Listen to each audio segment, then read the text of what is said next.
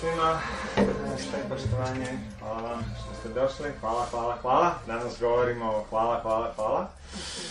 A, da vidimo šta se u toj u tom izrazu, jel? U toj formi. Šta je to zahvalnost? Koja je to prava zahvalnost? I koji su simptomi prave zahvalnosti? A, vede imaju e, zanimljiv pristup prema svijetu. U ovom modernom svijetu, na primjer, gospodin će reći da li vi tražite ljubav, on će reći da, da li ti tražiš ljubav, ja tražim ljubav, da li ti tražiš ljubav, i svi tražimo ljubav, ali svi idemo svako na svoju stranu. Znači, njemu je ljubav nešto u njegovoj glavi, što je on zamislio.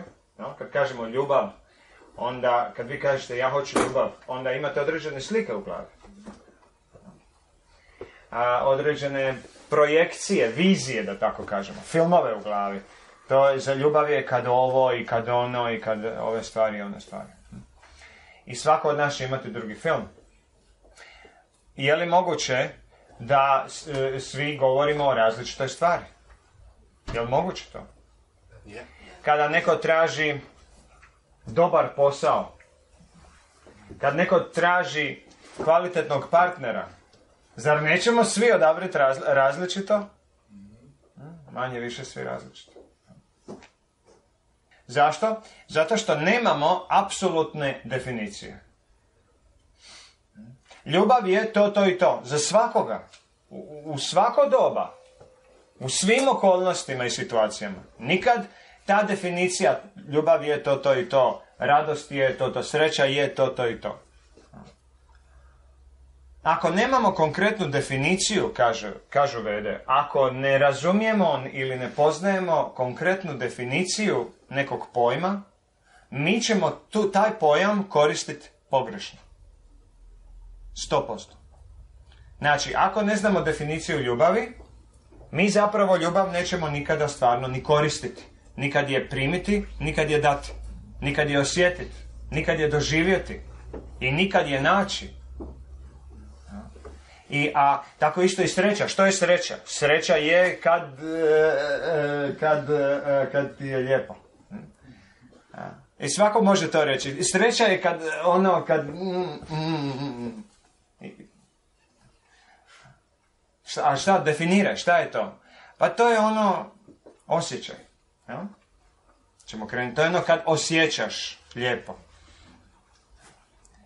Ali e, e, nasilnik osjeća lijepo isto kad radi nasilje. Znači osjećaj ne možemo reći ne možemo definirati niti ljubav, niti sreću. Niti, niti jednu od stvari koje mi tražimo u ovom svijetu kao poželjne. Nijedna od tih stvari nisu osjećaj. Ljubav nije osjećaj. Zato što svaki osjećaj ima svoj početak, vrhunac i kraj. Ljubav nema početak, nema vrhunac i nema kraj. Ja? Kad idemo definirati ljubav svako u svom srcu, e, k čemu ćemo prije težiti? Ka definiciji ljubav je bez početka i kraja ili ljubav ima početak i ima kraj? Što, bi, što, što mislimo da zvuči bolje? Ono bez kraja, ali tako? Stoga ljubav nije osjećaj. Tako isto i zahvalnost nije osjećaj. Krećemo od toga što zahvalnost nije. Da odmah znamo, da ne bi se zavaravali. Zahvalnost nije osjećaj. A, možemo čak reći da budemo možda malo fleksibilniji. E, zahvalnost nije samo osjećaj. Ali ono, ali ono što je ispravnije, čak i da nema osjećaja zahvalnost tu, zahvalnost može biti tu. Čak i ako nema osjećaja. Stoga, da vidimo kako ćemo definirati zahvalnost. Danas ćemo pokušati kroz vetsku mudrost definirati zahvalnost, razumjeti na ispravan način to i razumjeti na taj način da možemo u svakodnevnom životu promijeniti način na koji smo zahvalni. I možda po prvi put u životu da postanemo stvarno, istinski zahvalni. Ako bi išli materijalno gledati, zahvalnost bi bilo, što bi bilo zahvalnost? Probajte zamisliti situaciju u kojoj smo nekome zahvalni. Što bi ta zahvalnost zapravo bila? U nekoj datoj situaciji, na primjer, ja donesem sok od Aronije i vi meni date neke eure. Date mi 14 eura. I sad ja sam donio, a, ko je uzeo ovu Aroniju? E, ja sam, naravno. E, brzo, brzo, brzo. Sad je počeo, pišemo ispit. Vadite papire. Ok, ja sam, ja sam donio Aroniju, ti voliš Aroniju, jel tako? I vidjela si Aroniju, je Aronija, ja kažem, evo ti Aronija. I ti kažeš, hvala. I ode. Je to zahvalnost? A? Ne? Ili da? Rekla je hvala i otišla. Je to zahvalnost? Zašto nije? Rekla je hvala. Vi kažete. Šta je u srcu, šta je? Radost. A, je mislila resno. ona je došla i rekla, "Oh, hvala ti, joj, hvala ti. I uzme Aroniju i ode. Je to zahvalnost? A? Zašto je? Zašto? A? Na neki način je. Nismo sigurni, a? Odlično šta očekuješ. A? Ovisi šta ti je u srcu, ali mi ja ne mogu znati što je njoj u srcu. To je skriveno. To je samo zahvala. To je? Za, zahvala, a nije zahvalnica. Aha, nije zahvalnost, nego zahvala. A zahvala nije zahvalnost? Zašto je onda zovemo zahvala? Hm? Da li je zahvala zahvalnost? I zašto, ako nije, zašto govorimo hvala? Hm? Šta bi bilo onda hvala?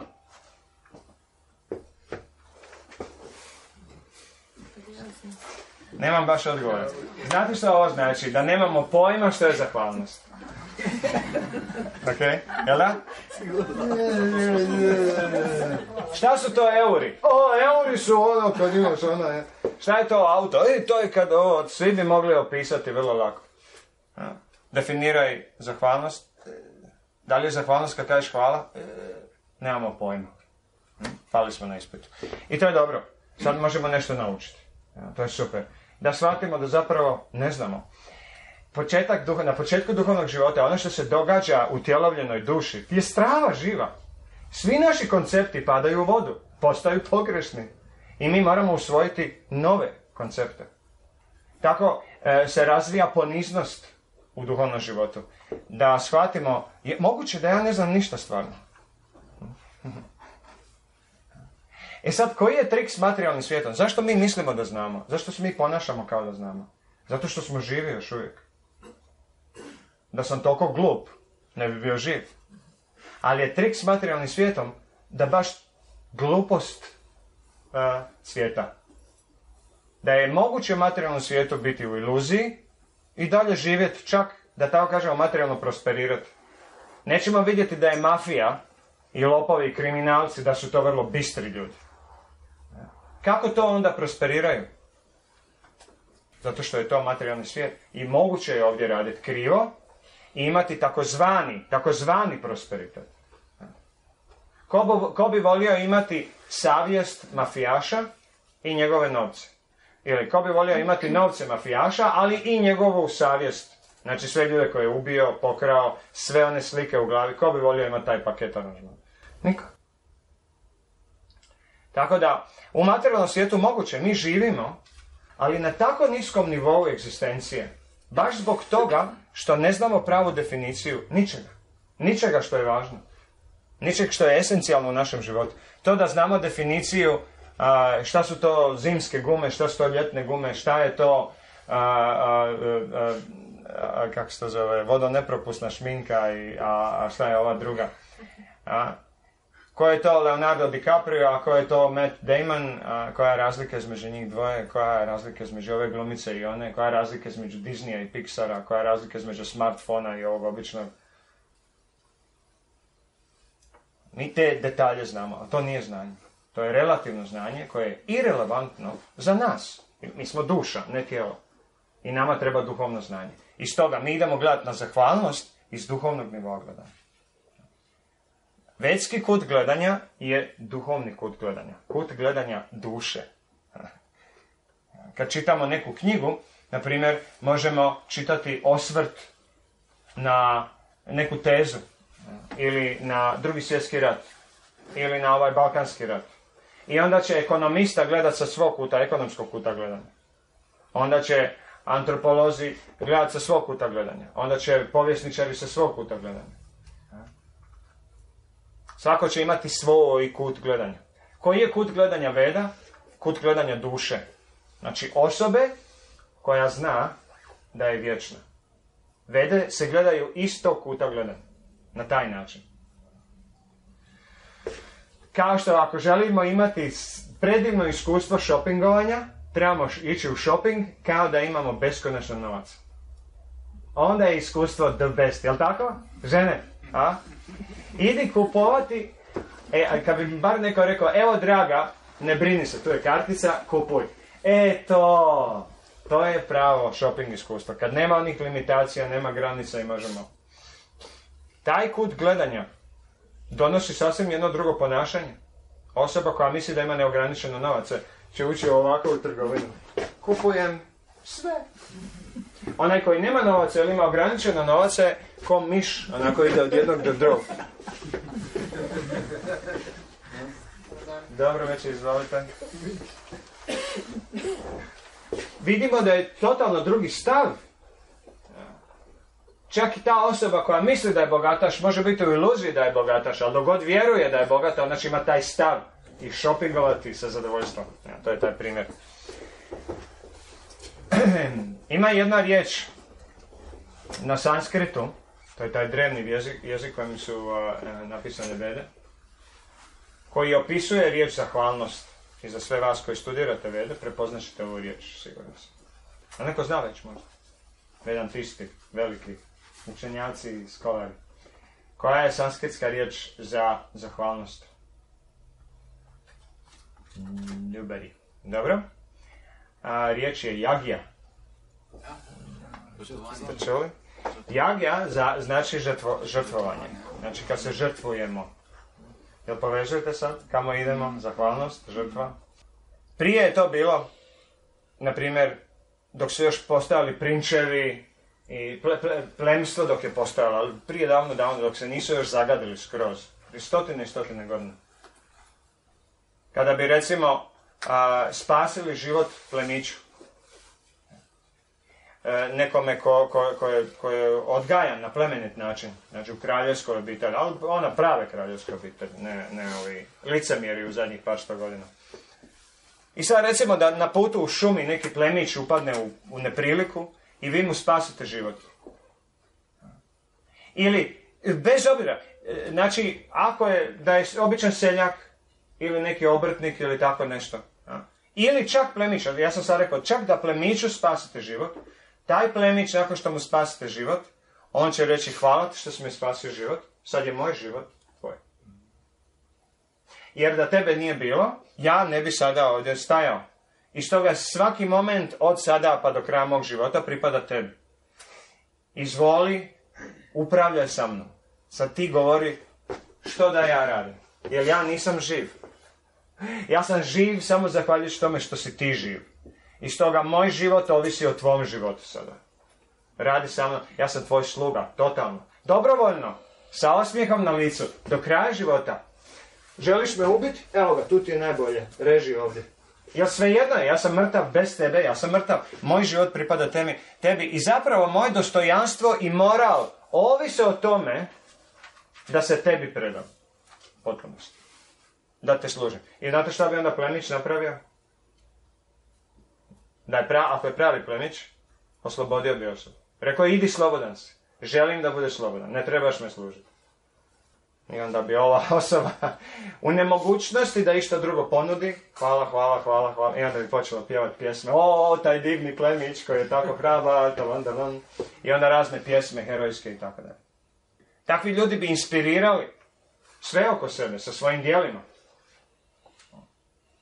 Da bi ljudi a, a, i zahvalnost, znači to, to su prije bili veliki lideri, kraljevi koji su u isto vrijeme bili i mudraci. Znači, zamislite da je, za sve vas koji ste gledali gospodare prstenova, da je Gandalf bio kralj. to bi bilo super. Svi bi njemu vjerovali. Mudar je, jako je star, ima puno iskustva, dobar je po prirodi, dobročudan. Kad bi on vladao, najmanje bi nasilja bilo sigurno, najmanje nepravde. Čak i ako možda Gandalf nije savršen, nema veze, niko nije, ali će on najmanje štete napraviti od svih nas. Jer je jako mudar. Praktički kao neki čarobnjak. U, kad bi on bio kralj. To bi bilo super. Prva osobina kralja je da ne želi biti kralj. Ne želi biti lider. I zašto je onda lider lider? Narod ga natjera. Lider nema izbora. On mora, jer ga ljudi traže. Ti moraš biti lider, ti si najbolji od nas. Ok. Takva osoba mora činiti takva djela prema svom narodu, da se sam narod osjeća dužnim da služi svog lidera i slijedi do kraja života. Kao što je onaj kojim je život spašen, sad kaže wow, a, ja sam tvoj sluga. Tako bi trebalo, takav bi trebali mi stav imati prema nekome ko nas vodi, nekome koji je iznad nas, naš autoritet, naš lider. Da imamo osjećaj da ne možemo nikad, zamislite da imamo taj osjećaj prema našim predsjednicima, prema našim političarima. Da imamo osjećaj da im se nikad ne možemo odužiti. Koliko su predivnih stvari za nas napravili. I da ako ništa drugo, bit ćemo dobri građani. Ićemo na posao, plaćati porez, čuvati okol, okolinu, slijediti zakone, striktno, striktno, striktno. Iz zahvalnosti, ako ništa drugo, iz zahvalnosti, jer to je najmanje što možemo napraviti. I još uvijek, čak i ako sam odličan građanin do kraja života, još uvijek sam dužan mojim liderima. Ja to osjećam. Ne to što stoji tamo, koliko sam im poreza, što su oni rekli da sam im dužan. Nego što ja kažem da sam dužan. Zamislite kad bi svaki građan sam sebi pisao porez, sam sebi pisao porez.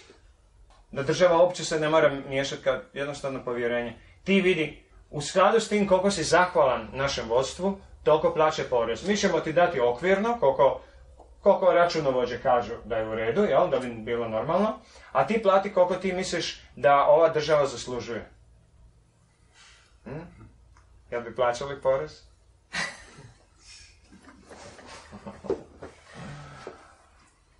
I zašto bi plaćali porez? Kada ne osjećamo zahvalnost prema svojim liderima. Kada ne osjećamo zahvalnost, šta ćemo onda raditi? Meni! Onda utajimo porez i ono što smo utajili, jel? ukrali od države, odnesemo kome susjedu, evo ti mazno sam na države, evo ti 1000 eura sam naštedio na porezu, evo tebi, pa ti razdijeli drugima. A, a, ovdje, ovaj. I onda, kad se taj napuni, tako fino punimo svoje džepove. Znači, nije dovoljno samo da lider ne zaslužuje zahvalnost. Čim mi ne osjećamo zahvalnost, ne osjećamo, sad vidimo što to znači, ne djelujemo kao zahvalnosti, mi se deg- degradiramo. To nije dobro za nas. Nije dobro za nas da ne osjećamo zahvalnost. Čak i ako onaj prema kome ne osjećamo zahvalnost, ne zaslužuje zahvalnost i ovako i onako. Nema veze. Nije dobro za nas da prakticiramo nezahvalnost. To nije dobro za nas. I zato se kaže, nemoj se žaliti na svoje lidere, na svoje roditelje, na svog muža, na svoju ženu, na svog šefa na poslu. Ti sam biraš svoje lidere. Odaberi koga ćeš slijediti. Prema kojoj osobi osjećaš toliko zahvalnosti da ćeš ga slijediti cijeli život što god da ti on kaže ili ona. Prema kojoj osobi. Napravimo listu sada u glavi ljudi za koje bi tako nešto napravili. Da bi ih slijedili do kraja našeg života što god oni kažu. Da bi ih slijedili kao da smo mi njihovi sluge, a oni naši gospodari. Gospodari, tu riječ hoću. Da li imamo u životu neko ko nam je gospodar srca našeg? Za kog ćemo učiniti sve? A da nismo privremeno zaljubljeni samo. To se ne računa, to nije. To nije. Niti približno isto. Da li imamo gospodara svog života i svog srca koji kad se pojavi mi odmah na koljenima i suze nam od ganuća i sreće i zahvalnosti idu. I kad vidimo tu osobu samo kaži riječ. Kako, kako ide? I nego samo rijeci riječ i ozdravit će duša moja. Dio katoličke neko- A, tako se prema Isusu postavljaju i prema Bogu. Samo jednu riječ. I, samo mi kaži i ja sam u ekstazi. Znate kad, pa, kad, kad dođemo kući, a pas nas dočeka naš? Kako, psi, jeste... I prije nego što nas dodirne, on je u ekstazi. Već zamišlja, joj, sad ću ga dotaknuti. Uza zid se evo me, evo me, evo ga, sad će doći, evo Bog gospodara. I onda oko stopala, mmm, joj, miris nogu. I onda se mi izujemo, a? Šta tam mirišeš, bježi. I onda ga šutnemo, a on opet za nema. Gospodar njegovog srca. A? Pitajte, da li pas izgleda zahvalno? Hm? Ako iko izgleda zahvalno, to je onda pas. U ovom društvu našem jedino još psi izgledaju zahvalno. To bi mi trebali ujutro kad dođemo na posao pa uđe šef. Šefe! Ako ćemo odmah dobiti otkaz. Takvu zahvalnost ne trebamo. To zahvalnost je da sjediš i da š- šutiš. Najvažnije od svega je zapamtiti da zahvalnost nije samo riječ hvala zbog osjećaja koje imam trenutno. O, spasio si mi život, baš zgodno. Sad ću stići na, na u, ki, u kino idem, ili na spoj, ili na predavanje. Hvala ti što si mi spasio, čao, evo. To nije zahvalnost, ja? Ako, u materijalnom smislu, ono što sam na početku postavio, kada, evo, ja sam donio Aroniju, i ona nije samo uzela Aroniju i otišla. Ona je uzela Aroniju i rekla hvala, izvela 14 eura i plati. To je hvala. Znači, u materijalnom svijetu to je hvala. Adekvatna zamjena, razmjena. Jel? Adekvatna, proporcionalna, da tako kažem. Mi se trudimo biti zahvalni u ovom svijetu upravo na taj način. Tako gledamo otprilike vrijednost onoga što smo dobili i onda nekako pokušati vratiti da je slično i da, da, da na taj način izbalansiramo. Ja? No međutim, to je izuzetno površan način gledanja. I uvijek ćemo ostati dužni. A ako idemo samo na to da materijalno pokušavamo vrijednost izjednačiti, uvijek ćemo ostati dužni. Što je smiješno? Još od prije. Još od prije, ja? Dobro. Ja se ispričavam što sam smiješan. Pokušat ću biti malo samo ozbiljniji. znači, u materijalnom svijetu mi pokušamo izjednačiti, to je biznis. To je biznis. Ali taj biznis nikada nije ispravan. Na primjer, kad nam netko donese banane iz Ekvadora, e- e- tamo, jel? Neko nam donese ba- banane tamo iz Afrike. Ili nešto iz Kine. I sada mi platimo poštarinu koliko? Sad je preko eBaya moguće poštarinu za par eura, jel? Za par eura nam nešto dođe iz drugog kraja svijeta. Je to realno? Je to adekvatno platiti toliko novaca? Nema, nema šanse. Nema šanse da je to adekvatno. Kako im se zahvaliti za banane, dati euro po kili ili euro i pol po kili? To nije adekvatna zahvala. Mi smo dužni za te banane. Gorivo koje plaćamo, a? euro i pol po, po, po litri, to nije adekvatna cijena. Oni su morali uništiti nekoliko zemalja trećeg svijeta da bi mi mogli dobiti tako povoljnu naftu. I stoga nije dovoljno platiti i nije dovoljno samo reći hvala i pokloniti se. Dug može ostati, karmički dug.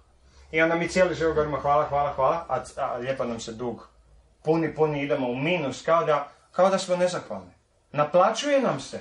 Iako smo rekli hvala i bili zahvalni i platili to, i dalje nam se naplaćuje.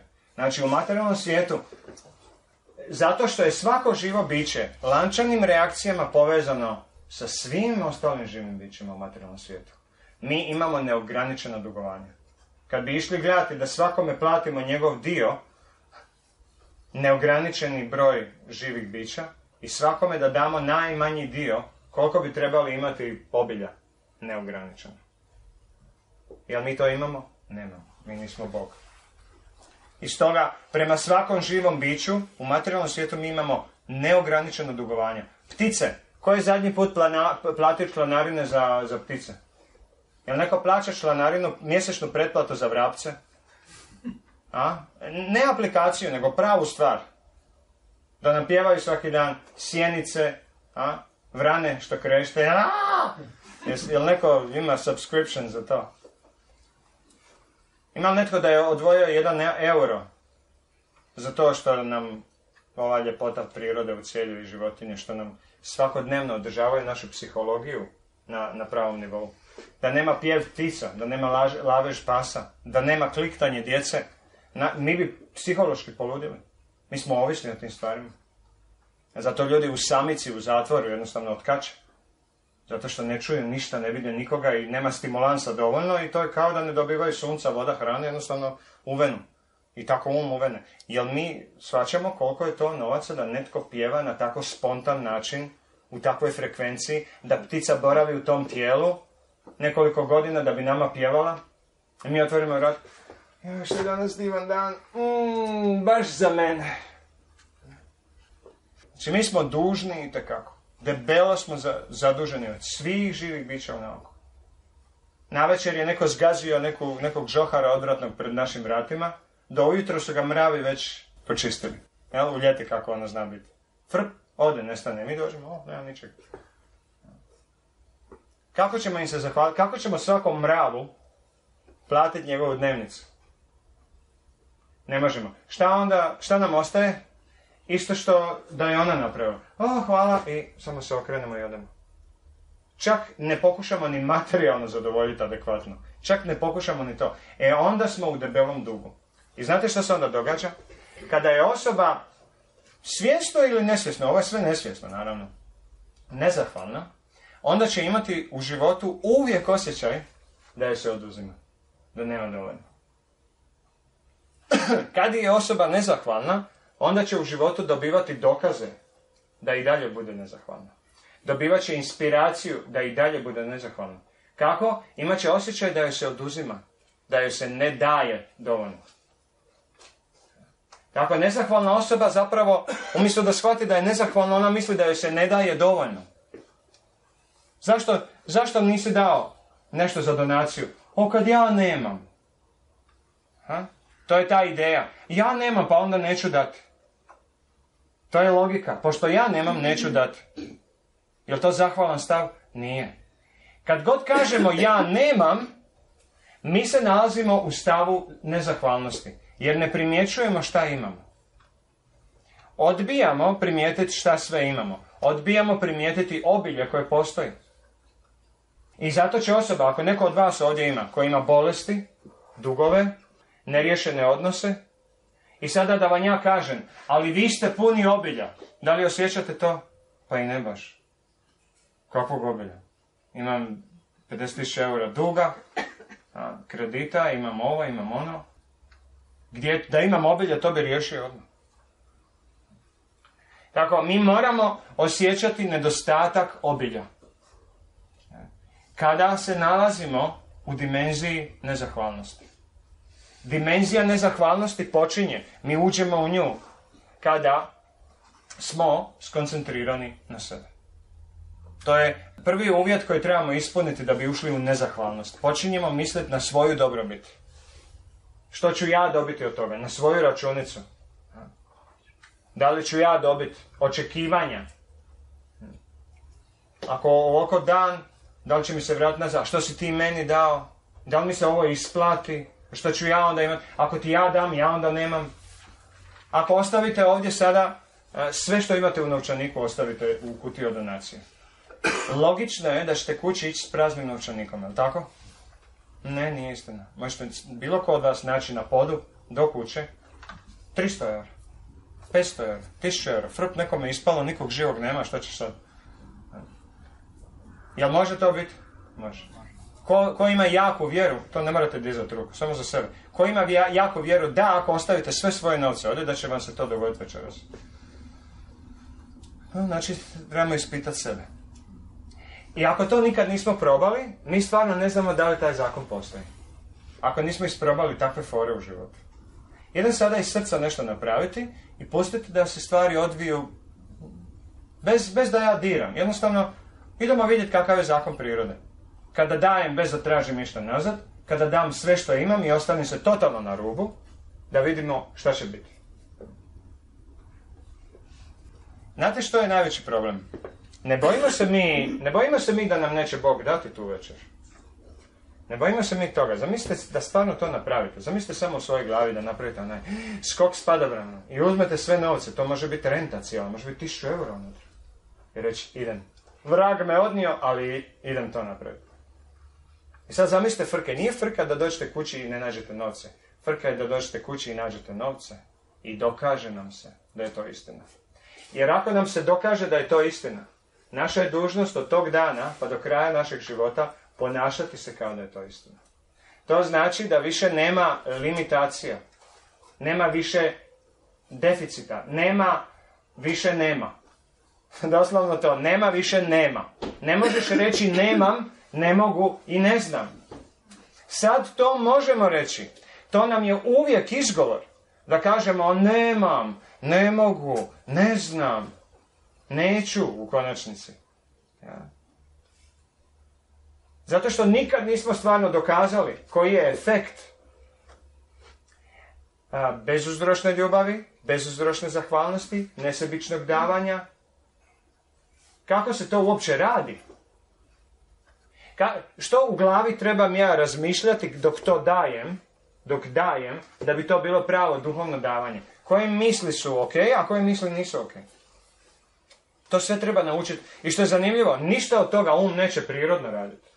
Njemu je prirodno upravo suprotno. Misliti na sebe, računati, plus, minus, množi, dijeli, prebaci na drugu godinu. A? Malo ukradi, malo laži, malo nemoj reći.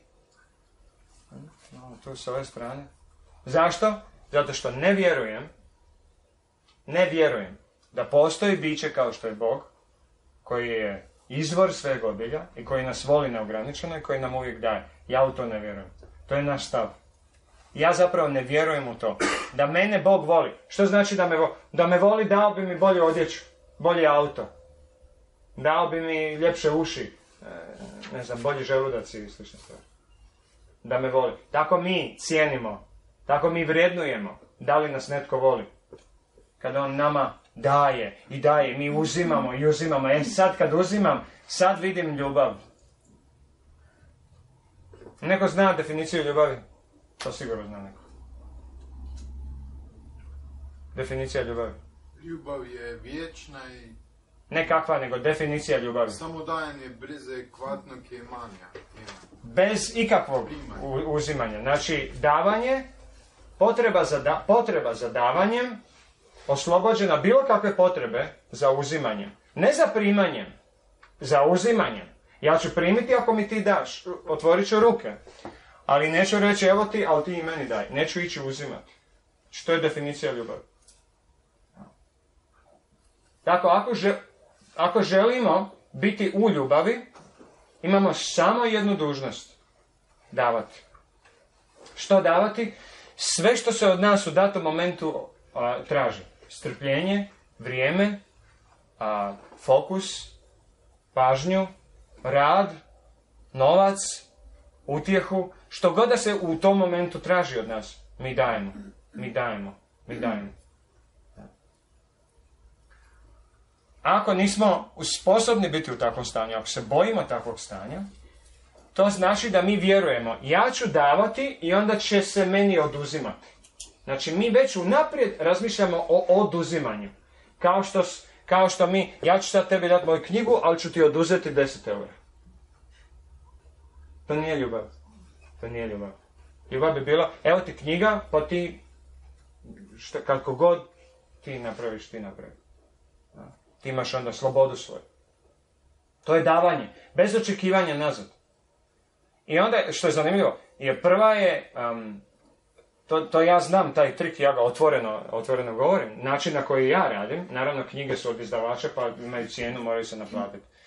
Ali e, ja nikad ako neko kaže, ja nemam 10 eura, evo ti 5 eura, imam 1, euro, mogu uzeti knjigu, možeš. Ako je to sve što imaš. To isto kao da neko da sve iz svog novčanika. Ti si dao 1 euro, on, on ima 100 eura, on bi. To je za mene ekvivalentno. Ne? Isto tako ovi seminari predavanja, ne gledam, koliko si dao, 3 eura, 20 lipa, sve jedno. Ne? Na taj način nikad ne, ne mogu ući u onu računicu, aha, ona mi je dala 10 eura puta 20, jednako je toliko i toliko, puta š- 10 puta godišnje, jednako u celju ću zaraditi toliko i toliko. I onda računam, očekujem i cijelo vrijeme sam u modusu uzimanja. Ja.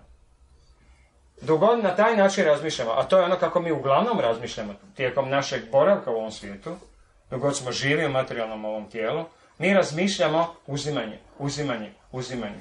Zašto stalno razmišljamo uzimanje? Zato što imamo osjećaj da nemamo. To je to. Ka, zašto nemamo? Ko nam nije dao? Bog. U konačnici, Bog. I to je problem. Zašto onda mi ne dajemo? Zato što ni meni Bog nije dao. I je li to dovoljan izgovor? O da. Jer ako Bog meni nije dao, što bi ja onda nikome drugome dao? Ne samo da neću nikom dati, nego ću i uzeti. I ako me on kaže, zašto uzivaš od moje djece? Znači, pa i ti si od mene uzeo. Nisi mi dao dovoljno. Mm. Anarki. Onda pustimo drugu kosu. Aaaa, Ja sam Sotona. Sad ću ja Bogu pokazati kako.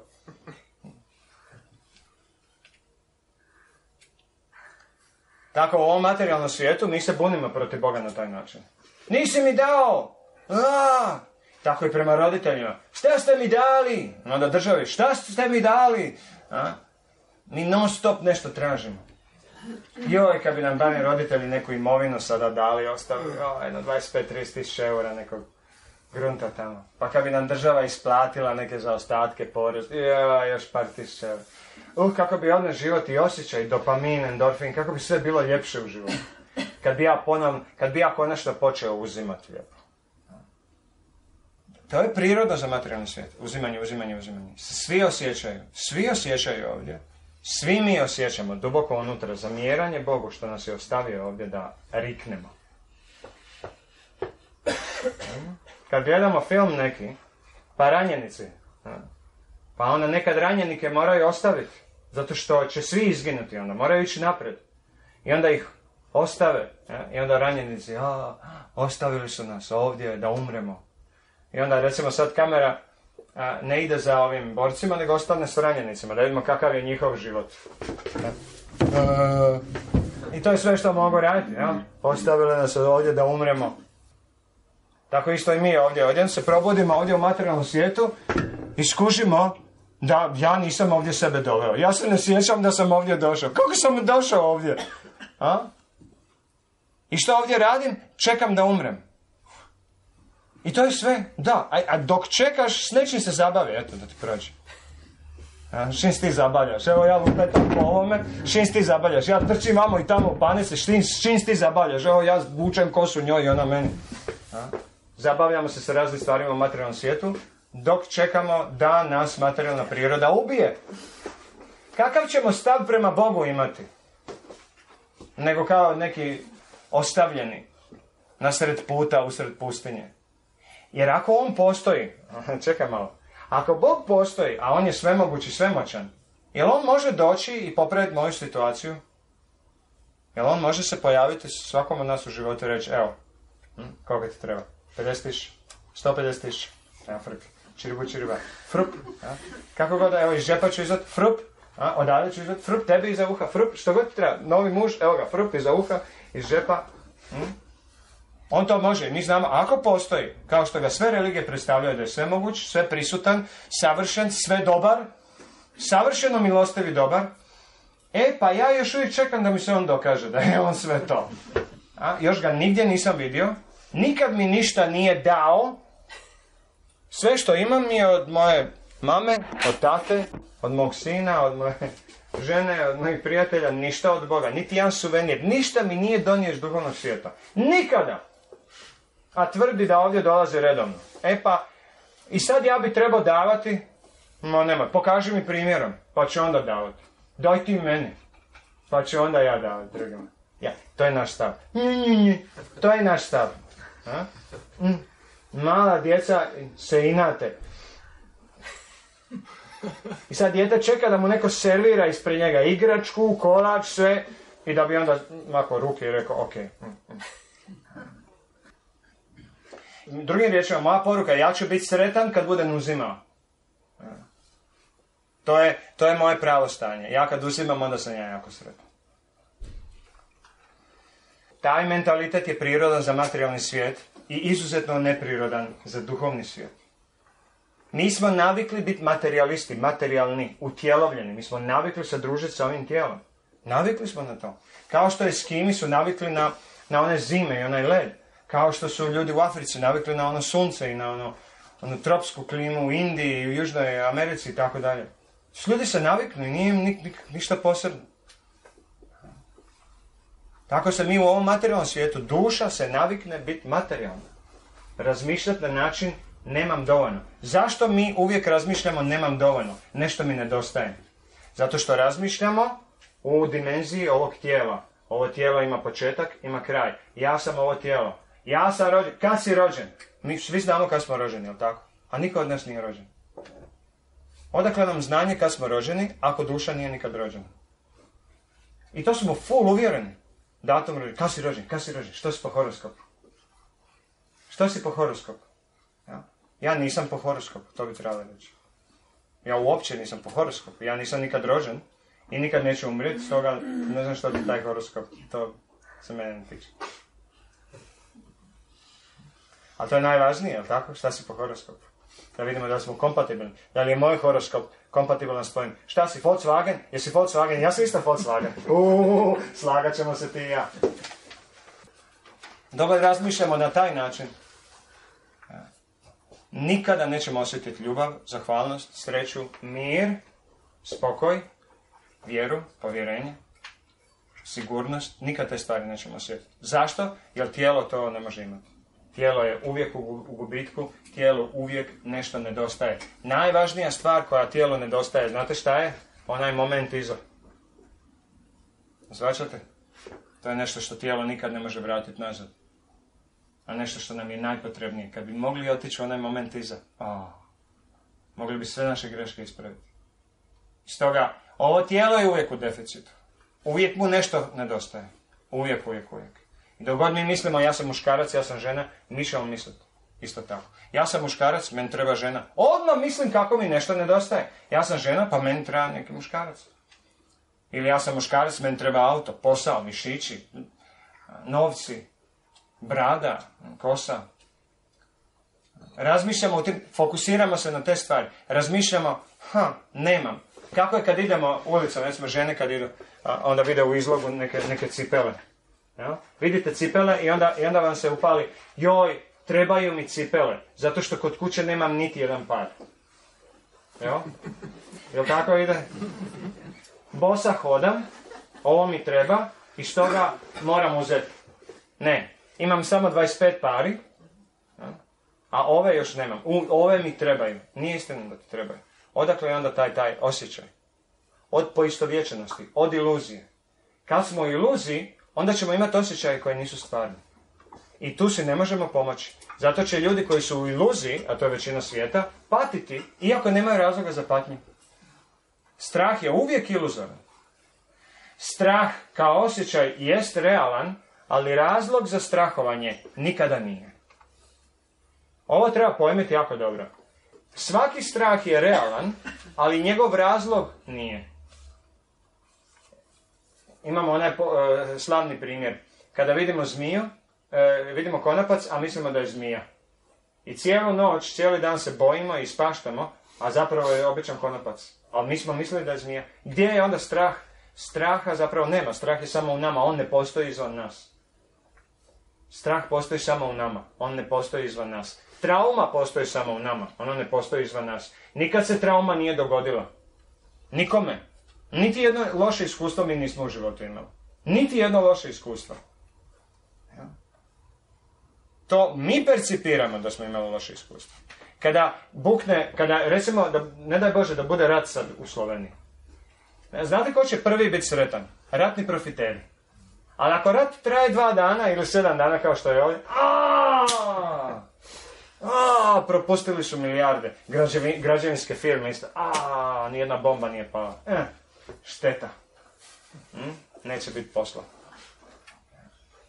Zaš, zašto? Onda će, onda će, ovaj, kako se zove, ratni profiter biti zahvalan kad bombe padaju. Je to zahvalnost? Hoćemo to gledati kao zahvalnost? Ne. Tako, zahvalnost je žrtva. To nije osjećaj. To je djelatnost, to je djelo, to je akcija.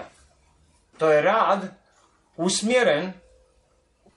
Zapravo, zahvalnost mi ne možemo nikad pokazati prema nikome. Zato što nitko od nas ne može nikome od nas ispuniti nikakve želje. Mi svi imamo duhovne želje.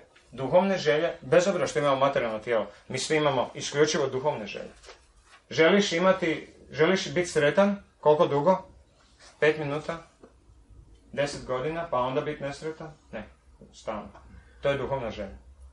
Želiš imati kakav odnos sa ljudima? Nesavršene ili savršene? Savršene. Kakvog želiš partnera? Savršenog ili klimavog? Savršenog. Ma čekaj, ne postoji u ovom svijetu ništa savršeno, ništa vječno. Odakle ti ta želja? Odakle nam želja za ićim vječnim? I to ne da je tu i tamo neka želja duhovna, nego sve. Sve imaju duhovni taj karakter.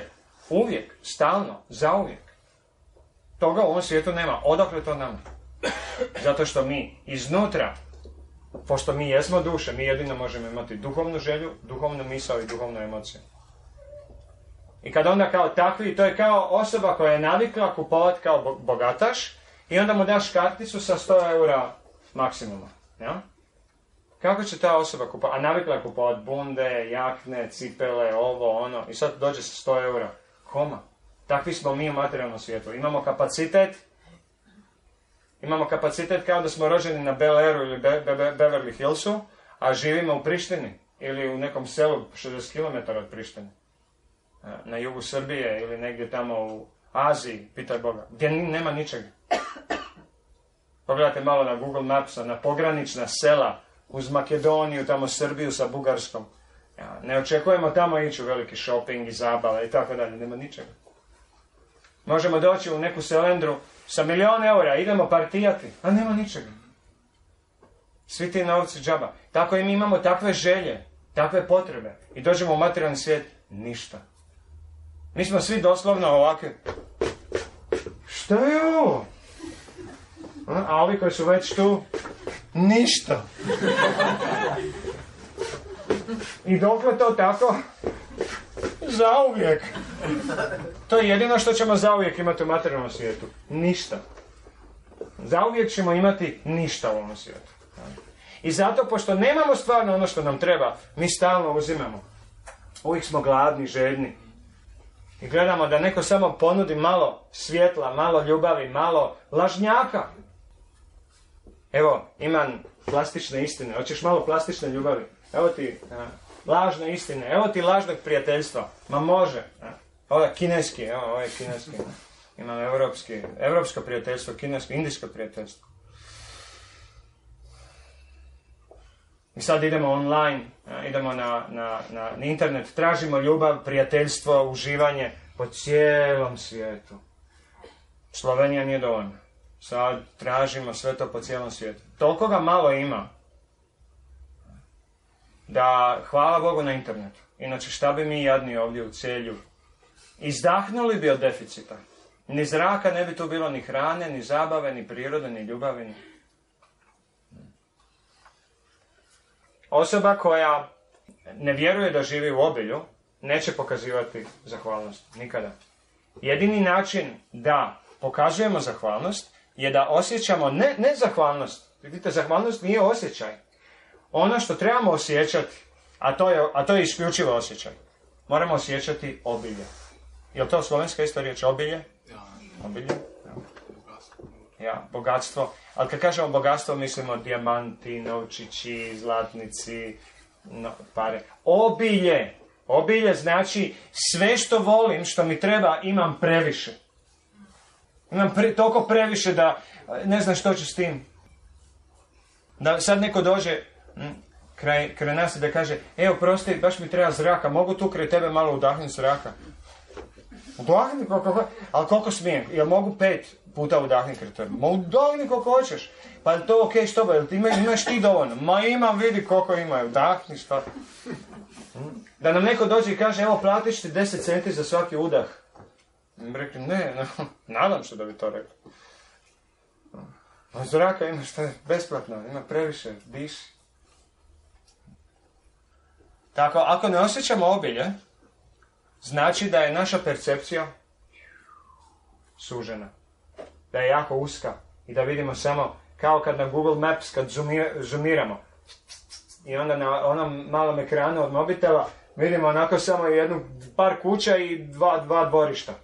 To je sve što vidimo. Sad ako kažemo to je planeta Zemlja, ne, ne, nije to planeta Zemlja. Samo jedan mali sičušni dio. Puno raznolikija, ima svega tu. Tako mi kad se fokusiramo samo na naš život, na stvari koje mi mislimo da nam trebaju, onda ignoriramo sve ostalo. Kad ignoriramo sve ostalo, ne primjećujemo obilje.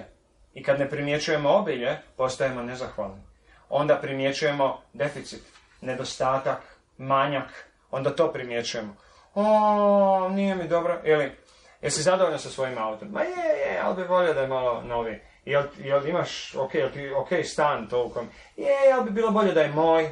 Jel ti je u redu tvoj partner? Ma je, ali ipak kad bi malo više... To nije je, je. To, ja tu či- čitam nije, nije. Nije mi dovoljno, nije mi dobro. Imam, ali nisam zahvalan. To je ono što je najgore. Jel, jesi zadovoljan sa svojim stanom? Pa zapravo i nemam stan, spavam tu ispod mostova. Ok, da. to znači da nemaš. Čak će ti ljudi biti zahvalni. Na što? Na most. Na što imaju most. I da mogu stati negdje pokriti. A mi imamo stan i onda kažemo, "Ne, kad bi bar ova terasa bila natkrivena sa specijalnim kristalnim staklom, a, kad bi još imao dvije, tri sobe viška i tavan i kad bi imao garažu svoju i ni- nikad, to, to znači nezahvalnost kad primjećujemo stvari koje nemamo umjesto stvari koje imamo. I ovo je trik. Ovo je trik. To nije trik stvarno. Ne može biti trik. A, za- zanimljivo je kao vetska pravila nisu trikovi. Zato što ih ne može ne možemo imati loš karakter i imati dobre rezultate. Moramo promijeniti karakter da bi imali dobre rezultate. Ne možemo prirodu prevariti. A? Ne možemo prirodu prevariti. Ne možemo reći, idem se ja pretvarati da je vani ljeto, pa izaći vani u kratkim rukavima i tako ću prevariti zimu. E, nećeš. tako isto, ne možemo biti sebični, čak i ako mi mislimo da nismo sebični, a jesmo sebični, mi ćemo imati rezultate sebičnosti. Kako to ja super, a vidiš što mi se događa u životu. Ako imamo taj osjećaj, nije fair. Ja sam dobra osoba, spiritualna osoba, ja dajem, ja se žrtvujem, on, a nemam baš osjećaj da, da mi se to vraća. No, znači možda imamo krivu percepciju, možda mi ne dajemo toliko. Možda nismo toliko divni i. Možda bi dobro bilo da nas neko preispita i vidi, da li bi ti mogao više davati. Što mi obično kažemo? Ja dajem koliko? Koliko mogu. A ko je to potvrdio? Ima neki certifikat koji je pot- potvrđao ovo je tvoja granica? I što se događa nakon granice? Jel ima, ne- jesmo se pustili nekome da nas gurne preko granice davanja? Preko naših granica koje smo mi zadali? Ako nismo, mi nikad u životu ništa za nikoga nismo napravili, osim za sebe. I stoga nikada u životu nismo osjetili ljubav, jer nismo dali. Nismo osjetili da dajemo ljubav i nismo osjetili da primamo ljubav. Pošto nismo osjetili da primamo ljubav, mi moramo osjećati glad i žeđ cijelo vrijeme. Kako će osoba koja je gladna i žedna osjećati zahvalnost na lijepim jelima? Ne, uvijek će reći, "O, nemam dovoljno. I ako nemam dovoljno, automatski nemam što zadati. I gotovo je, ljubav nula. Nikad je u životu nećemo iskusiti. Prava, istinska ljubav dolazi od nas. Ona čak ne dolazi niti od, u duhovnom smislu, da, od razmjene, ali dovoljno je da mi dajemo i mi ćemo osjećati ljubav. Veća se ljubav osjeća kad je dajemo nego kad je primamo. Zapravo, zapravo kada primamo ljubav, prvi pravi osjećaj bi bio nelagodan. O, ne, primam, želim vratiti nazad, brzo, brzo nazad. Znači, kada primamo, imamo osjećaj nelagodnost, ne, nelagode, kao neugodno mi je, to znači da se nalazimo u obilju, da se nalazimo u percepciji obilja. Percepcija obilja, ha? Zanimljiv te, termin. O tome bi mogli isto pričati. Šta je to percepcija obilja? Kako je to, na koji način gledamo na svijet da bi imali percepciju, pogled obilja? Jer onda s takvim pogledom mi smo automatski zahvalni. I djelujemo na način da dajemo, a ne da uzimamo. Mi moramo osjećati da imamo hrpu. Kako ćemo osjećati da imamo neograničeno? Moramo se povezati sa onim koji ima neograničeno. Jel? Ako želimo a, popraviti svoj auto, s kim se moramo povezati? s automehaničarom. Zašto? On ima dijelove, on ima veze, on ima ovo, on ima ono. Nema problema. S njim, ako, još, ako nam je automehaničar brat, otac, o, onda super. Električar tu. Uvijek kad nešto treba, ja znam. I on sve sredi bez problema. To je takva sigurnost, tako divno i hvala te na tom. Još auto, zato je dobro danas u modernom društvu imati kompjuteraša, automehaničara i šta, zubara, jel? Doktora, živimo zdravo, doktor nam ne treba, ali zubar. Uuu, ako, su nam to, ako nam je to rodbina. Odvjetnik, joj, pardon. Kako sam to mogao zaboraviti? Odvjetnik, da. da. Staviti sebe u ulogu obilja i osjećaja beskonačne zahvalnosti zapravo uopće nije e, komplicirano, ali je najteža stvar za učiniti u materijalnom svijetu. Najteža stvar. Zato što se zapravo sve se odvija ovdje, sve kreće u glavi, znači percepcija. Kako se to radi? U mojoj drugoj knjizi sam napisao dosta tih vježbi, pa ako nemate drugu knjigu, svakako bih preporučio da je dobro, dobro, dobro, dobro studirate i svaki dan da prakticirate ono što tamo stoji. Svako poglavlje je jedna vježba. A to je da primjećujemo, zapravo mislim da u drugoj knjizi nisam o tome baš konkretno pisao, jer je to po- posebna tema, ali ima u mojim predavanjima, zahvalnost, znači o zahvalnosti ima. Da svaki dan, u svakom momentu, da primjećujemo što imamo. Evo, jako jednostavna vježba. Ja? I da kažemo, a, primjećujem. Hvala zapravo samo znači primjećujem da imam. To je sve. Riječ hvala znači, o, sad sam primijetio da imam. I sada idem to što imam, idem otkriti odakle sam dobio, ko mi je to dao i na koji način mogu to vratiti nazad. Idemo sad ovako, čisto kao, ovo, naravno, ovo zvuči užasno, sebično i narcisoidno, ali idemo ovako, bilo ko da je na mom mjestu sada. Mi sad ovdje govorimo o razmjeni, vi ste došli ovdje dati meni pažnju, možda ne- neki dar, ako želite, ne- nešto od vaše energije i obilja, a ja sam vama došao dati transcendentalno duhovno znanje. Idemo vidjeti kako ćemo to sad razmijeniti. Da mi date adekvatno koliko ste dobili. Znači, ja sam studirao 22 godine i prakticirao 22 godine. Ja vam sad dajem sažeto nešto što bi trebalo vjerojatno nekoliko godina studirati i prakticirati. Sad vi, vi to ne morate, a, dobili ste od mene i možete ovo sad ispraviti. Što- Kako ćete mi dati sad, što mi možete dati za ozdrav? Da meni jednako to kako a, znači.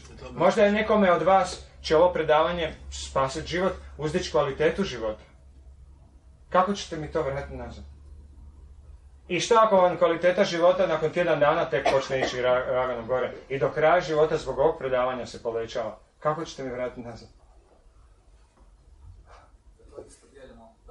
Da, to isto, tako je, upravo to. Da, to isto što ste dobili, da dajete drugima na ovaj način na koji sam ja vama dao. Bez očekivanja. Sad šta je u mom srcu, to niko ne zna, to je između mene i Boga, ali barem na van, barem na van da budemo korektni, da kažemo ne, ne očekujem ništa. U srcu naravno treba raditi, treba, ta iskrenost će doći vremenom, ali to je samo između nas i Boga, to niko ne vidi. Znači, e, u duhovnom životu, evo ovako funkcionira, tu vidite ove razne, vi koji ste tu možda prvi put ili nekoliko puta došli, možete vidjeti, to je naš duhovni učitelj, to je e, prikaz Boga i njegove unutarnje energije. Imam tu razne knjige. Znači, duhovni učitelj Šila Prabhupada, on je došao iz, Amerik, iz Indije u Ameriku i donio ovo znanje i cijelu jednu praksu i kulturu. Žrtvovao je svoje godine kad je trebao biti u penziji a, i živjeti u udobnosti doma i u miru. On je došao u totalno nepoznati svijet po prvi put i proširio ovo znanje u praksu. Na koji način možemo am, povezati se sa Bogom. I ono što mene osobno tjera da ovo sve radim, tjera, to je onako ugodno tjeranje, ugodni bić, da tako kažem. Bić ljubavi je da mi je on toliko popravio kvalitetu života zbog knjiga koje je napisao i učenika koje je on stvorio, jer ja kad sam došao do ovog procesa, do ovog duhovnog života, on već davno nije bio, bio na planeti, više prisutan među nama, a, da nakon nekoliko mjeseci prakticiranja toga što je a, Prabhupada preporučio svojim knjigama, ja sam osjetio da mi je život neograničeno puta kvalitetniji. Ne mogu, nisam mogao naći usporedbu koliko puta kad je jednostavno skoro. Kako ja sad to mogu vratiti? Moje hvala je da posvetim cijeli svoj život njegovoj misiji. onome što je on htio raditi, da ja sad to nastavim i da angažiram što više ljudi da to rade skupa sa mnom, ja ne mogu sam ništa, pa da to skupa napravimo, ja? I da cijeli svoj život, kre, kre, krenuši od onog momenta kad sam to shvatio, znači sa 19,5 godina, do kraja života da posvetim toj misiji, to bi bilo možda neko u redu hvala. To bi bilo ono pravo hvala. Čak nije pravo hvala. E, ono što je on meni napravio, kako ću ja njemu, kako ću ja njemu popraviti njegovu kvalitetu života? To ne mogu. On je uvijek iznad mene. Učitelj je uvijek iznad nas. Kako ćemo mi vratiti učitelju? Ne možemo. Nikada. I stoga se treba osjećati beskonačno dužan. Kad osoba se osjeća beskonačno dužnim, osjećat će se beskonačno zahvalnim. Automatski. A kad ja mislim, što sam ja tebi dužan? Ništa ja tebi dužan, ništa, onda nećemo isto tako biti zahvalni. Moramo se osjećati beskonačno dužnim, ali to ne ide umjetno. Ja sad ovo pričam, to mora ići prirodno. I zato studirate knjige ove, studirate vede, raspitujte se, postavljate pitanja.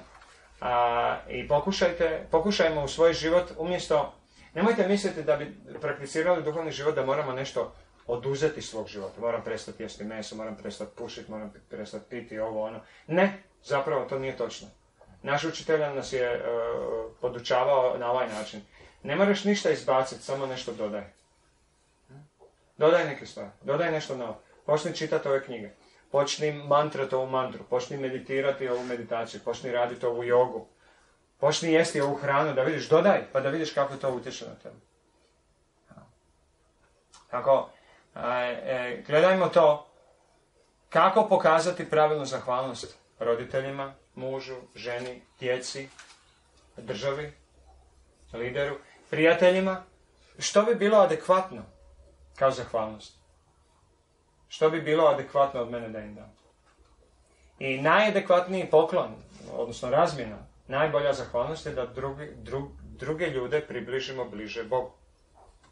Ništa drugo nije, nema nikakvu vrijednost. Sve u materijalnom svijetu ima malu, sitnu, beskonačno malu vrijednost. Jer danas je tu, sutra više nije. Neko mi je poklonio vilu vrijednu 50 milijuna eura. I, ali ta vila će za 300 godina nestati, za 500 godina i neće biti. I ni ja, ni vila, znači ima ograničenu vrijednost. A kad druge približimo Bogu, a to je dovoljna jedna rečenica. Ljudi, jedna rečenica, jedno predavanje, jedna rečenica. Od ovog svog predavanja obično ljudi pokupe jednu misao, jednu ideju i onda s tim idu kući, e, to, to, zapamtio sam jako dobru poantu. I sad tu poantu, šta s tim? Probaj nekome to dati. I znate što ćete otkriti? Da ovo uopće nije lako. Da uopće nije lako dati Boga drugim ljudima. Vi ste pristali ovo doći slušati i onda je meni lako. Probajte to nekome ko to ne želi, a trebamo. Probajte pa ćete vidjeti. No. Ali ja ću ti sad dati nešto na čemu ćeš biti beskonačno zahvalan. Ne. Daj ti meni pivo. Daj ti meni nešto para. Tako ćemo vidjeti tu nezahvalnost koliko je ogromna. Da će ljudi biti zahvalni za stvari koje im nisu... Dođeš nekome i daš mu imate cigaretu, daš mu cigaretu i on kaže hvala. Pivo, plaćaš piće, joj, hvala. Na tome se zahvaljujem.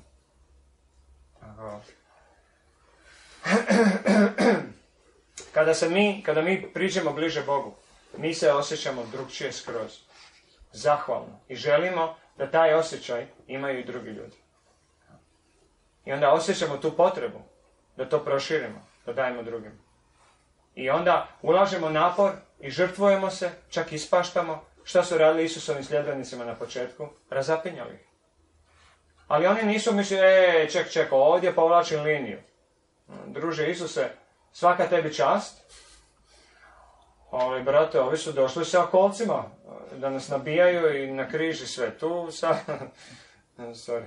Ne, oni su rekli, neka nas ubiju ja, to nije dovoljno da se zahvalim, da me ubiju jednom, neka me ubiju tisuću puta. Jel moguće da su oni to osjećali? Inače ne bi to radili. Niko to ne bi radio da, da ne osjeća. Toliko zahvalnost da su osjećali, da su spremni bili žrtvovati za svoje uvjerenja, jep, to je to. A ako si spreman za Boga dati cijeli život, kroz život ili odmah dati život, onda se nalazimo u modusu zahvalnosti. Znači ja svoj život posvećujem Bogu. Ne mislim da dam život Bogu, da se raznesem a, u njegovo ime, pa da, jel to, duša ne može svoj život dati u smislu da ga žrtvuje, da ga baci u vatru, da život nestane. Šta, šta je on napravio? Kad bi, kad bi imali vetski pogled, kao kamera koja snima duše, i da recimo da vidimo tamo ono, bojna polja i mislimo strava, ljudi umiru. Niko ne umire. Duše samo napuštaju jedno tijelo i negdje u neko drugo tijelo. Samo bi vidjeli promet, ja? žestok promet na tim... I onda bi gledali i to i rekli, ček, ček, pa ovdje niko ne umire. Svi nastavljaju živjeti. Pa gdje je tu nasilje onda? Gdje je tu patnja? Gdje je tu bol? Gdje je tu smrt? Za čim mi to tugujemo i za čim mi to radimo ovakve face kad gledamo filmove? E, ne, ništa od toga nije onako, onakim kakvi se čini. Ako preporučujem vam stvarno moju drugu knjigu da, da vas uvede u tu filozofiju Šla Prapadel. Na, na kraju mojih knjiga možete naći pre, preporučenu literaturu koju sam ja čitao kad sam tek krenuo i tu je Sonja, ona organizatorica, ona će vam preporučiti slovenske knjige od Šla Prapada ako želite ući u vetsku mudrost koju sam ja čitao kad sam imao 19 godina, da vidite što je to mene privuklo, što je to svih nas privuklo koji se bavimo vedama, um, da to nije institucija, nas nije privukla institucija, nego nas je privukla filozofija i osobe. Ljudi, ljudi, način na koji se ljudi odnose jedni prema drugima. Institucija je samo čisto da nam je lakše se naći negdje, da možemo knjige distribuirati tako da institucija nema veliku važnost, nego ljudi unutar institucije i međusobni odnos. To je ono što, što se posebno traži u duhovnom životu, taj odnos služenja. Da smo toliko zahvalni, na primjer, moju zahvalnost prema vama ja bi trebao pokazati tako da uvijek dođem kad, kad vi želite. Čak i ako da sam prst odrezao danas, čak i ako sam bolestan, čak i ako mi se ne ide, joj, sad u celje, baš sam se najao, jedno fino vani, sunce bilo, ja u sobi meditiram ovako na prozoru i mislim se, ne ide se nikuda. Moj um, nezahvalan naravno. Ma ja bi sad uživao, ne ide se meni nikuda. Ajde ti fino Sonji javi, neka ona održi predavanje. Ja da slušam svoj um, nitkove jedan, gade jedan, sram to bilo. Ljudi, uh, ljudi cijene to znanje, ljudi žele čuti više. Tvoja dužnost da žrtvuješ sve što god treba žrtvovati, da im to daš. A što ako oni tebi ne daju ništa? Kako ne daju? Daju ti pažnju čovječe. Ko će slušati ove stvari? Da ja ovo idem sad pričat na sred trga, na sred ceste tamo. Ko bi me slušao? I stoga ja sam presretan da neko želi slušati ove stvari i to je predivna razmjena. Vi slušate, ja govorim i fino imamo taj protok energije, predivno. Tako ja sam vam jako zahvalan što imate interes. Iako znam da je to svakog od vas, da vi sami sebi svoj život popravljate, ja, unapređujete, ali nemate pojma koliko mene osobno činite sretnim, iako ko šišamo i sreću. ali, ovaj, ali eto, bar ta moja sitna beznačajna sreća, da vam kažem kako mi je drago kad dođem, kad vidim da ste tu, i da gledate, i da slušate, i da jednog dana, kad ja ne budem tu, da tako isto gledate nekog drugog, mislim jednog dana. Jednog dana u smislu, ne morate samo mene, vi koji glavno mene dolazite slušati, da, počujte i neke druge isto. A, vidite na koji način drugi predavači isto koji predaju o duhovnosti, kako oni doživljavaju Boga, kako oni doživljavaju ove stvari. Ja. Eto, ja bi tu stao, puno se može još ovome reći, naravno sad bi tu mogli u analitičke studije ići do besvijesti, a isto tako u praktične studije, na primjer kako u praksi pokazati zahvalnost, kada doživimo ovo, kada doživimo ono, pa bi sad evo za kraj iskoristio, ako neko od vas možda ima neku situaciju u glavi za koju bi htio da je komentiram, kako biti zahvalan, kako pokazati ljubav, kako pokazati razumijevanje u situaciji kada se čini baš da ne bi trebali tako djelovati. Nekad u nekim situacijama trebamo viknuti, upozoriti, reći ne, hm? odmaknuti ljude od sebe, postaviti granicu, distancu, korak nazad. Tako, te praktične stvari nas e, čine jačima i naprednijima u duhovnom životu ili nas degradiraju ako ih pogrešno obavljamo. I to uglavnom je u komunikaciji sa ljudima, u kontaktu sa ljudima. Tako je ovako, ima nekog pitanja, slobodno. Nemojte se sramiti. Ja znam kako je to biti u publici. Ali pokušajte, eto. Nema glupih pitanja. Ovo su duhovne teme. Znači, može doslovno pitanja. Zašto ti imaš kratku kosu? Jel to nešto duhovno? Da može, može i tako pitanje, slobodno. Zašto ne? Kratka kosa je radi higijene, tuširam se svaki dan, barem dva puta i stoga je, to je to, ništa posebno drugo. Higijena. Kad je bolje imati mentalnost ujutro prije mantre ili poslije mantre? Kad je bolje imati mentalnu zahvalnost, prije mantre ili ujutro, jel, ili poslije mantre? Pa zahvalnost bi trebalo, bi trebalo biti stanje svijesti. Znaš, da tvoje dijelo, da ne moraš razmišljati da li sam zahvalan ili nisam, nego da uvijek djeluješ na način da si zahvalan. Tako, e, na primjer, ujutro, ja kad se probudim ujutro, prvo kad otvorim oči kažem, o, Krista, hvala ti, i danas sam živ. Znam da sam vječan, ali i danas sam živ u ovom tijelu. A? Hvala ti na tome. Divno. Evo, još jedan dan ću biti tu. Recimo.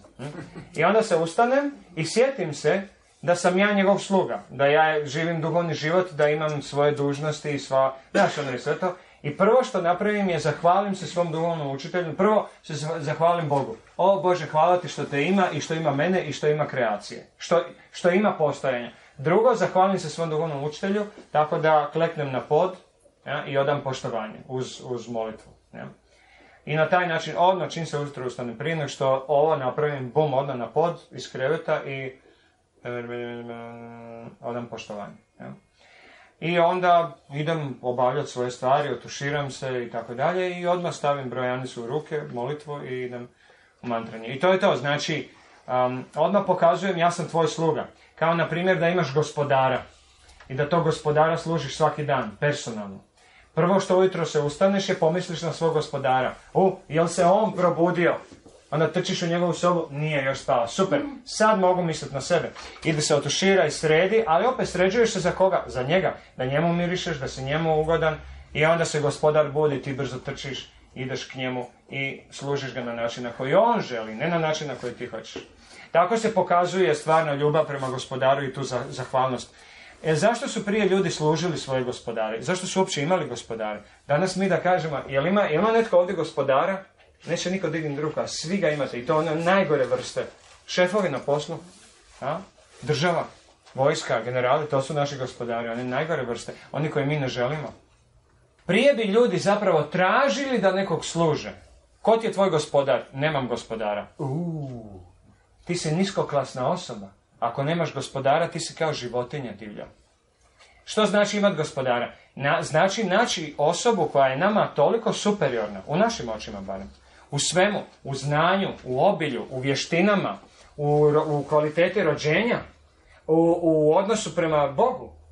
U svemu nam je superiorna. Mi kažemo, ja želim ovu osobu služiti. Zašto? Jer je bolja od mene. Zašto? Jer su prije ljudi znali.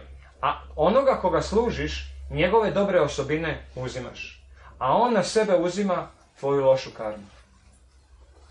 Ako dopuštamo da nas netko služi, mi toj osobi dajemo svoju dobru karmu, a na, a na sebe uzimamo lošu karmu te osobe. Jeste znali to?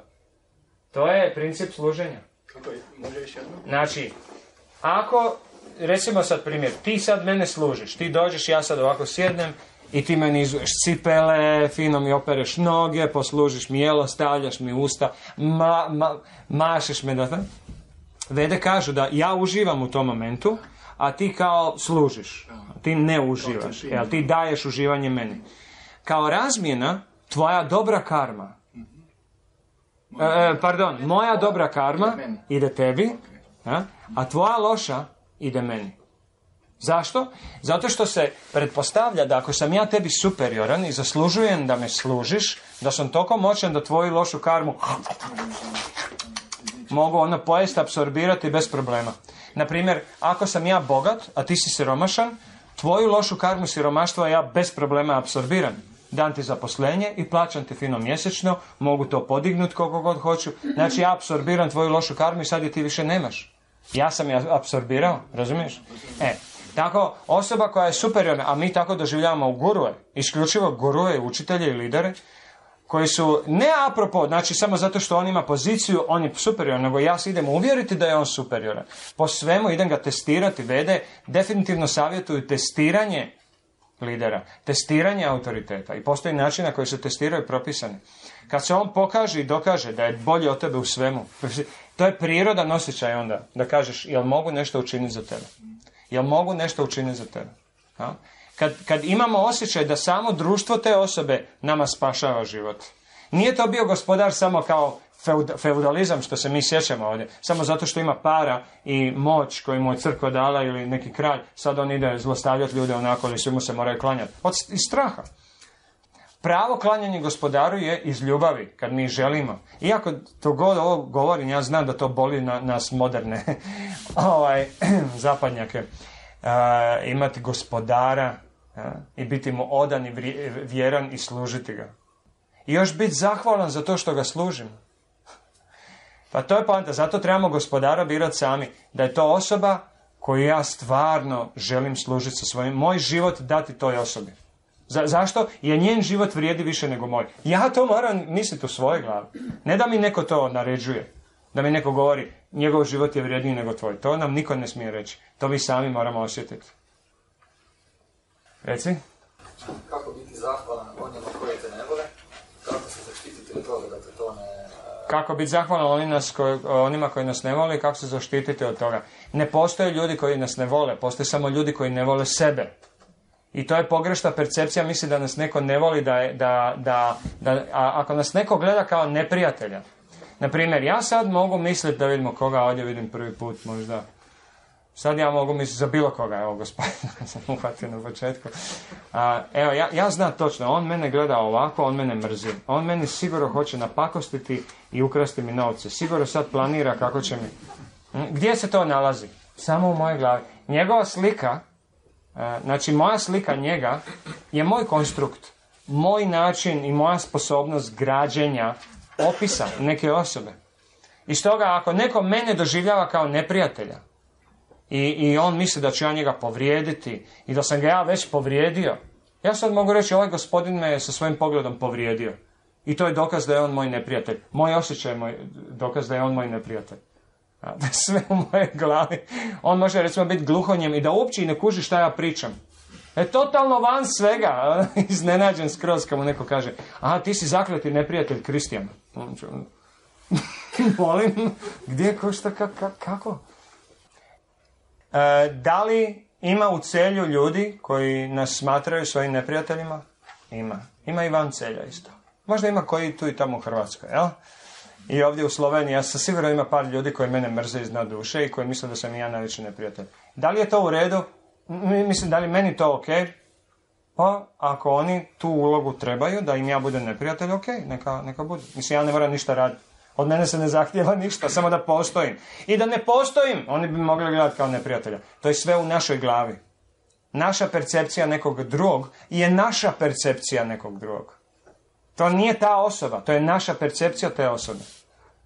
Kad se vozimo i neko nas presjeće onako naglo, vidi kretena, idiote, to je, to je opis njega u našoj glavi. Zapravo to je naša sposobnost opisivanja, zapravo možemo reći to je naša sposobnost točka, zapravo možemo reći to smo mi. To je naše. To je sve. Da ne, da ne duljimo. To je taj opis unutra u glavi, to smo mi. Ako ja nekog vidim kao neprijatelja, to znači da sam u ratu sam sa sobom. Ali, ali sam dovoljno neiskren da to ne mogu sebi priznati, pa onda tražim na vani ko mi je nešto napravio. A to ovaj Andrej, on stalno nešto, već mi ga je puna kapa i sad sam se sjetio da ga toleriram već dvije godine i da da, da, da, sad mi je sinulo ko je mene, zašto i kako i... Ali ja ne, ja nisam krivo ništa napravio. Ako imat neprijatelje na vani, to je narcisoidan stav. To znači, neko mi je drugi kriv za moju nesreću u životu. To su neprijatelji. Krivac, redovni krivac. Tako, to je to. Znači, ako te neko gleda kao neprijatelja, a, u svojoj glavi ž- možeš žaliti zbog toga i reći žao mi je što je to tako, ali se nećeš u- uznemiriti toga. Znaš, on nije tvoj neprijatelj. Tako da... E sada, kako mu biti zahvalan? Pa baš je dobro kad te neko izaziva. Zašto? Onda si spreman, budan, kad bi te svi voljeli. Kad bi svi govorili, u, ovaj Andrej, on je divan i on je krasan.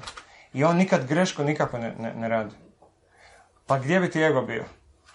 Ne, bi- ne bi te niko spasit mogao. Razumiješ, hodao bi celjem.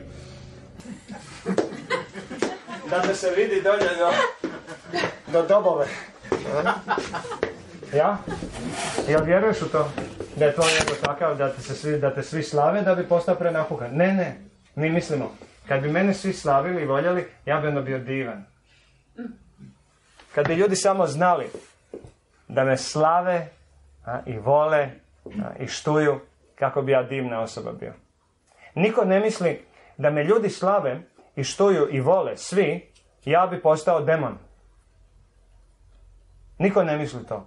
Ja bi podemonio, ja bi postao grozna osoba. Ja bi počeo biti nasilan prema ljudima. Prgav, e, naduren, e, narcisoidan, a, bahat, arogantan. Ne, ne, ja ne. Ja kad dobijem ljubav, ja sam onda sretan. Ne. To je ono što mi ne znamo o sebi. Zašto mi Bog ne da zdravlje? Neko će ovdje pitati. Ja podučavam samo ozdravljenje. Pitanje je zašto mi Bog ne da zdravlje? Kad bi ti dao zdravlje, pokvario bi se kao osoba. Zašto mi Bog ne daje novaca? Kad bi ti dao novaca, kad bi te izvukao iz dugova, postao bi groznija osoba. De- degradirao bi svoj karakter. Mi šokirani, molim. Tako sam ja sebe izliječio. Da mi Bog makne bolove u leđima, ja bi bio još gora osoba. I kad mi je to kliknulo u glavi, kad sam ja u to povjerao svim svojim srcem, pa da, to je jedino objašnjenje. Zašto mi Bog ne da? Inače je zločest. I neću ga, i neću ga slijediti, obožavati što Inače nije Bog. Ako mi ne da. Tako, tako da ono što nemam je dobro da nemam. Ono što imam, a ne želim imati, je dobro da imam. Jer me to drži zauzdanog. Da ne podivljam kao konj, kao pas. To me drži zauzdanog. Bog me drži zauzdanog. Šta, sa ovim tumorom na mozgu? Da, i s tim. Da li je moguće nešto napraviti sa svojim karakterom, da Bog odluči, ok, ne moraš više imati tumor na mozgu, dugove i ovo je... Da, naravno.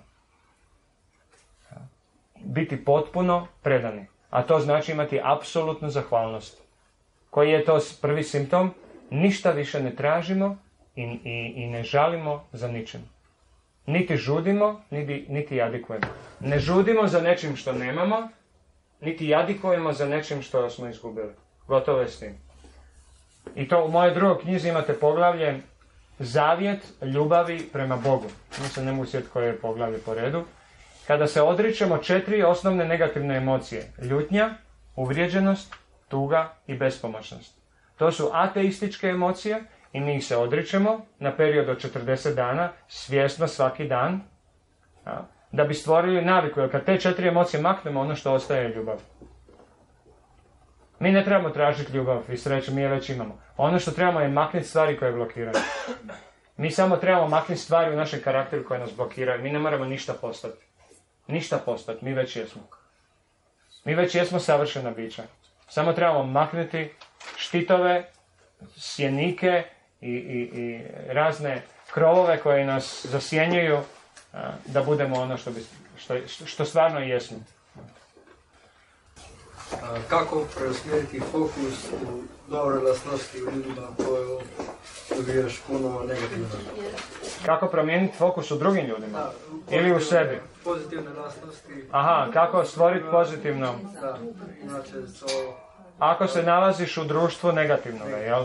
Prvo i osnovno, ako si slab, makni se iz društva negativnog. Zato je druženje najvažnije u duhovnom životu. To je prva stvar. Samo malo još. A druga stvar je, nemoj dozvoliti da te drugi ljudi izbace iz strašnica. To imaš tapkanje, imaš mantru, imaš rad na sebi. Da e, određenim stavom izgradiš takav stav unutar sebe duhovni, da te niko ne može izbaciti iz emocije koje su ti sebi e, odabrao. Znači, to je kontrola uma. Yoga, sadana, znači sam, sve što treba raditi da bi um bio pod kontrolom, da te onda niko ne može stvarno izbaciti iz strašnica i onda nema negativne energije. Nema nigdje negativne energije. Nigdje. To je samo nama u našoj glavi. Ti primjećuješ negativnu energiju. Razumiješ? Naprimjer, možemo otići negdje, šta ja znam, e, tamo kad sam sad često idu u Srbiju, pa dok su one izbjeglice bile tamo po kolodvoru u Beogradu. Znači, totalno možeš izaći iz, iz, iz vlaka ili iz autobusa i reći "Aaaa, prljavo, neuredno, neorganizirano, a, koma. Ali ono što možeš vidjeti je e, jadni ljudi. Znaš, možeš vidjeti totalno drugi, ignorirati prljavštinu, nered i sve to i suosjećati sa ljudima i reći, staviti se u njihovu kožu. Ajde, skini ovo sa sebe, uvuci se u ono prljavo, znojno i odvratno, smrdljivo, što već ko zna koliko dana i tjedana je na tebi, i budi tamo sa, sa polovičnom obitelji, ova druga ko zna gdje. Mislim, ja znam za vrijeme rata, ja sam isto bio u Njemačkoj nek, ono, par mjeseci. Strava, mislim, strava i užas od osjećaja. I umjesto da misliš, misliš na sebe, e, ne sviđa mi se ovo što vidim, radije kaži, wow, ne, zapravo ono što mi se ne sviđa je da se ja nalazim sad u lijepom stanju, meni je dobro, a vidim ljude koji nisu. To mi se ne sviđa. Da ne mogu na neki način podijeliti s njima, kako da podijelim s njima. Osjećam se jadno e, što ne mogu podijeliti s njima to. I onda imaš osjećaj samilosti. Imaš osjećaj neugode. Žrtvuješ svoju ugodu koju imaš u tom momentu. Zato što prolaziš kraj nekoga kome nije ugodno. I odrekneš se onda svog osjećaja da bi bio s njim u istoj frekvenciji. To je ono što niko od nas ne želi. To je jedna, jedna od komponenti empatije. Siđi dolje u rupu s njim. Siđi dolje u rupu s njim pa ćeš vidjeti kako ćeš totalno druge stvari primjećivati. Kakva prljavština, kakav nered, kako sasvim druge stvari. Vidjet ćeš agoniju, patnju, iluziju, neznanje, tugu, gubitak, bol. Sasvim druge stvari se onda vidi. Ja. E, ali ako primijetiš te stvari, onda nema uživanja. Onda se ne možeš postaviti superiorno prema tim ljudima. A ako primijetiš, vidi sve prljavo, sve ovako, onda si ti bolji od njih. I onda dolazi to materijalno, odvratno, demonsko uživanje. Haha, ja sam bolji od njih. Haha, meni je bolje. Zašto usporimo kad vidimo saobraćajnu nesreću sa strane? Zašto usporimo? Zašto želimo vidjeti malo? Joj, što je grozno, uspori, uspori. Joj, što je grozno, vidi kako grozno. Gle krv, joj, stani, stani. Gle krv, stani, stani. Kako to mi stani? Što to znači stani, stani? Daj da se malo nauživam tuđe nesreće, Jel to me čini da se ja osjećam bolje? Zašto? Jer se meni to ne događa. I na podsvjesnom nivou mi dobivamo osjećaj zadovoljstva. Trebali bi okrenuti glavu i moliti se za te, te ljude i, i uopće, jer će um ići uživati u tome. Crna kronika. Crna kronika. To, je, to su najčitanije vijesti uvijek. Da vidimo ko je izgubio glavu, ko je izgubio kuću, ko je izgubio novce, ko je izgubio nos, oko. Tako, tu treba paziti, znaš. Zato je druženje sa jako naprednim ljudima esencijalno, zato što onda vidiš njihovo ponašanje i onda to ideš emulirati, ideš oponašati. Ovako nemaš koga oponašati. Imaš samo ljude vani, a c- trebaš imati autoritet za slježenje. Svako od nas. Ok, hvala vam puno na pažnji. Sad ćemo malo zakuskicu.